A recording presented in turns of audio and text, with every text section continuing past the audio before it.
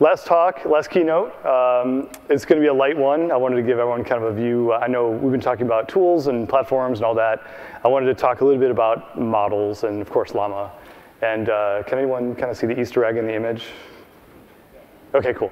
All right, my designer did her job. She, uh, she created that. And I'm told there's going to be a little bit of a surprise during this talk, so you got to pay attention. Um, awesome. All right, um, a little bit of a history lesson before we jump into the model. Um, this is, and I know this, this crowd is, knows all this stuff, but I thought it'd be fun to kind of rehash a little bit of it. So I got into the deep learning space around, you know, kind of after the ImageNet, just after the ImageNet, um, you know, kind of revolution when supervised learning hit. Does everyone know ImageNet? I mean, obviously, come on hopefully. I actually gave this like part of this talk uh, a couple weeks back, and like everyone was like, "What is ImageNet?" So I had to use the hot dog, not hot dog uh, meme, which hopefully everyone knows that one too. So we had this world of supervised learning uh, that, that kind of persisted for a while, and it was on Caffe and Torch and Theano, and of course TensorFlow and other other frameworks, and of course PyTorch. Um, and then in 2018, you know, we, we kind of woke up to the, the transformer. I don't think we quite knew at the time what, what we had really discovered and Noam Shazeer and the team over at Google um, really created there. But this transformer model plus un, you know, un, unlabeled data and unsupervised pre-training um, plus fine tuning uh, changed the game completely, even though it was really, really expensive to deploy. Um, and if you fast forward to 2022, you get basically that paradigm plus RLHF, which is now kind of brings us to you know, things like ChatGPT and assistants and a lot of what we're, we're seeing today. Um, and then if you bring that even further where, where we are today in, in 2023 here and you know, adding retrieval augmented generation um, and doing fuzzy matches in, in kind of vector embedding space, um, plus adding search and all these things, the model has kind of become the platform. And that's really the point of this whole talk is, you know, we are actually abstracting things to the level where the model actually allows us to reach a new level of developers. Not everyone needs to know PyTorch, which is a bit sad for me personally and a lot of others. Um, but, but you know, models have become kind of a new uh, unit of, of, kind of computing and, and development. And so, you know, dovetailing into Llama, so I think everyone hopefully has heard of Llama by now. Um, super cool project, but it, the beginnings are actually kind of interesting. So the team in Paris, which was, if you were in FAIR, uh, we had a team working on formal mathematics. And so basically how you prove uh, theorems using things like tree search and, and LLMs.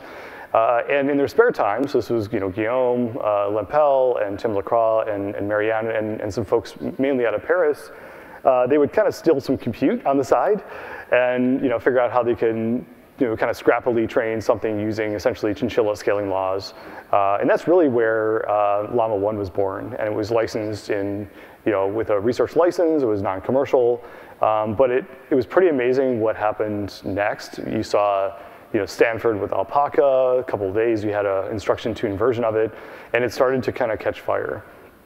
Um, in July this year, which is kind of hard to believe, it's, it's only a couple months ago or three, four months ago, uh, Llama 2 is released, uh, has 7B, uh, 13B, and a 70B uh, billion parameter uh, version, so kind of a wide uh, distribution of compute envelopes.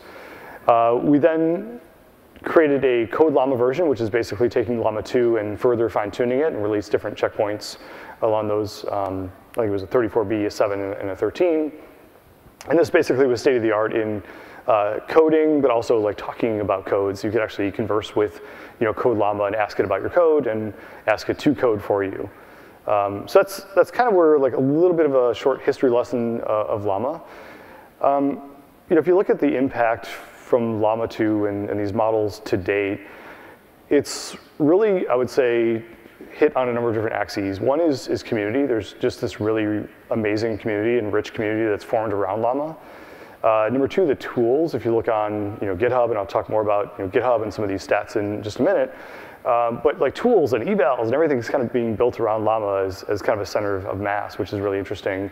Uh, the research community, some of it for better or for worse, um, is using Llama. They discover things about models, uh, you know, in terms of bias or ways to prompt models that jailbreak them, and, and that's actually a good thing because we want to understand, you know, how to improve from a safety perspective or, you know, how we can deploy these things uh, in a more responsible way, and we need people, a lot more people, uh, to be banging on our models um, in order to find that stuff out. And then in enterprise, we're actually really surprised how quickly the enterprise space has adopted open models. I mean, of course, open source is one thing. I mean, they're adopting PyTorch, as you saw from the previous talks.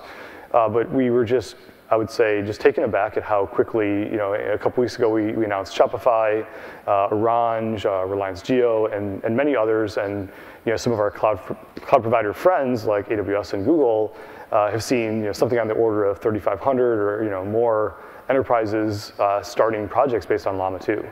So you're starting to see really this, you know, the full stack becoming really open, um, and that's really cool because you, then you can take these models, you can deploy them on device, you can deploy them, um, you know, in, in Edge. Um, you know, we, we, announced a partnership with Cloudflare. You can imagine basically doing inference within the CDN because they're deploying GPUs um, in the CDN network. That's pretty cool. Uh, there's a lot of implications to that, which are actually pretty interesting. Um, so this community is actually uh, really cool. Um, so by the numbers, uh, and by the way, these numbers keep changing. I keep having to update them almost every day. This actually, this is more like 9,400 now. Uh, so basically, people have taken our Llama models and created over 9,400 derivative versions. Uh, so this is, you know, things like different languages. Uh, this could be improvements in helpfulness or, you know, uh, you know, different ways to kind of improve, and then they will redeploy them and put, put them on Hugging Face, and people can download them and use them. This number also keeps changing. I can't keep up with it. Uh, I keep working with Omar at Hugging Face and keep banging on the, uh, the Hugging Face APIs. Uh, it's actually closer to 32 million in the last 30, 30 days of downloads of, of uh, Llama models. Uh, in this, every day I look at it, it's, it's even higher, which is pretty crazy. Uh, there's also over 8,000 projects um, on GitHub that use or, or reference Llama. You can see some of them here. Uh, I think I, I, put on LinkedIn uh, like last month around the Tiny Llama project, which I think is really cool. Uh, there's the Alpaca project, obviously. There's uh, um, actually a, the Llama 2C, uh, GGML, uh, if you're familiar with GGML, LLaVA, Llama Sharp, and the C Sharp um, world. Yarn is kind of a cool project. It extends the context length to over 100K versus kind of the native support of 4K that we have. And of course, long llama, or as we call it, or long, longer context length llama is on the way and being developed, or has been developed. So lots going on in GitHub. Um, and this is actually kind of a cool chart. Uh, so what I did here, and these numbers have actually even gone up a, a little bit higher.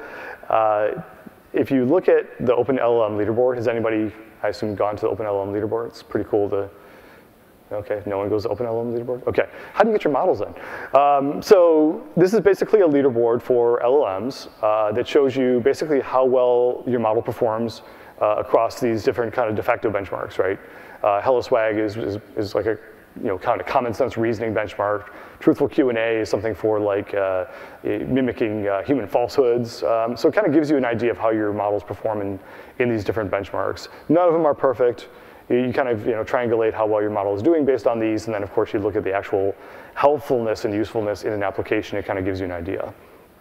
You can see though, uh, in blue is kind of the baseline from when we released our models uh, back in mid-July, and you can see in green, you know, kind of how the community has you know, taken our models, improved on them, and then re-uploaded them, and you can see them continually track up the leaderboard. And you can see across the board, the, the community has come to the rescue and improved nearly 10% on average. And so just to give you kind of a little bit of a logo soup, uh, we've actually seen you know, uh, engagement and partnerships basically across every layer of the stack. You know, down from the, the hardware layer, uh, where we have uh, you know, hardware platforms like AMD and Qualcomm and NVIDIA, MediaTek, Intel, all you know, optimizing and building on, on Llama. And so this is really like a full stack, because you have PyTorch and you have you know, Llama as, as the model. Um, and what this does is actually helps to drive down the cost of inference, uh, the cost of fine tuning, the cost of deploying these models at scale across all these different hardwares. You know, we're very much uh, hopeful that we can have Llama everywhere on, on different devices and very kind of low resource environments. Um, at the platform layer, tons of logos here. You can see uh, we work with Google, Azure, and Amazon, of course, at the cloud level, but lots of great startups like Hugging Face, Snorkel, Together, and a bunch of others. Um, and this, this really allows us to proliferate you know, Llama in kind of all levels of abstraction um, and kind of any way you really want to use it. And then, as I mentioned, uh, at the enterprise level, we're actually seeing, I would say, really in incredible like you know usage um, and uh, so we do work with some of these companies, uh, you know, pairwise, uh, and help them. Some of them just take Llama and they build stuff and they tell us about it, and, uh, we help amplify their work. Um, so it's a really cool community. So where does the future kind of take us? Um, sadly, I can't disclose what Llama 3 is yet. Um, soon, hopefully. Um, but certainly new modalities uh, will come into play. So I, th I, think the world isn't a language to language world, right? We're not, we don't live in text. Um, we live in, in you know, uh, audio and video and, um, and we look at images and we generate images. So you can imagine where, where all that all takes, takes you and takes us. Um, safety and responsibility, I think, is something that we've in the past talked a lot about. Uh, responsible AI was, you know, kind of used a lot, and, and we, we kind of gave it some, you know, uh, focus, but not enough. But generative AI has really made safety and responsibility such an important aspect. Um, and so I'm looking at all ways um, to invest in this. I have, you know, very close partnerships um, with our responsible AI team at Meta, and of course, we're working with the community and building partnerships externally. And then just generally, I think if you, you look at you know when we built and, and we have continued to build the PyTorch uh, ecosystem and community, it is all about the community. It is all about giving people the voice and agency and being able to, to elevate the work they've done and, and just be part of something. And that's what we're hoping that Llama can also become. And obviously the fact that it's built on PyTorch is amazing and that we have the teams together here at Meta um, makes it all the more powerful. So I will stop there. Um, if you have any questions or want to chat offline, I'm happy, happy to chat. We're actually on break now, so hopefully everyone can grab a coffee, relax. I think we're actually ahead of schedule. Um, so hopefully everyone's enjoyed the keynotes. Give everyone a round of applause for the speakers.